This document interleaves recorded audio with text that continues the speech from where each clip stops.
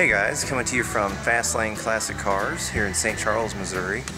And uh, I thought you might like a look at this 1963 uh, split window Corvette. And uh, it is looking really sharp. Take a look here. See the chrome bumpers looking nice. And of course you got the flip up headlights. Uh, it's definitely in nice shape and you got the you know finned you know turbine style aluminum wheels with the knockoff centers. Very cool. And this one's powered by the uh, 340 horse 327 and it has been very nicely detailed as you can see. Got the fin valve covers the aluminum intake four barrel carb nice chrome air cleaner, everything. I mean, it looks just as it would have from the factory, except just immaculately clean. Nice set of ram's horn style exhaust manifolds. Very sharp. And they've got like a little, uh, storyboard here that tells you everything about it. It's even got the build date, all the codes, everything like that. Everything's correct and numbers matching. Hopefully you guys can kind of pause that and check it out. Um, but I mean, 340 horse, 327 with a four-speed manual, and it even has a set of 370 gears out back. So this thing should really scoot out pretty good.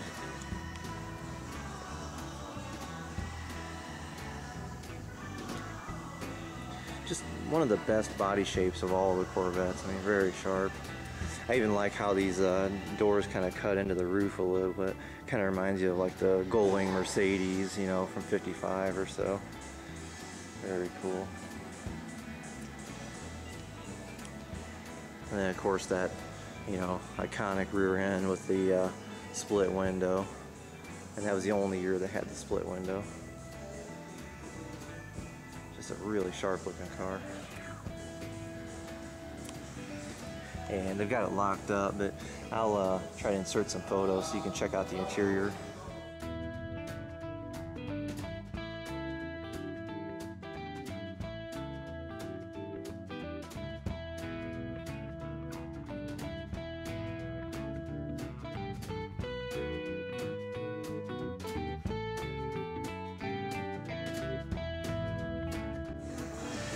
And believe me, they've got all the information you want on this car.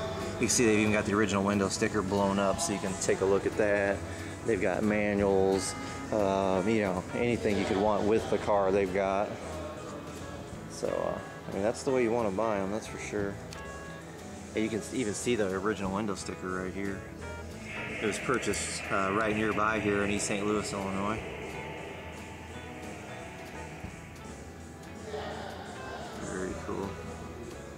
4809. Boy, I wish I could get one for that now. I mean, this thing's a beauty. Here, we'll take a look at the specs here.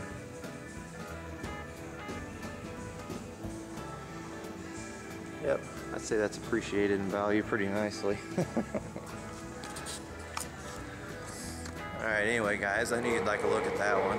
Uh, I'm going to keep looking around and see what else they have, and I'll see you later. Bye.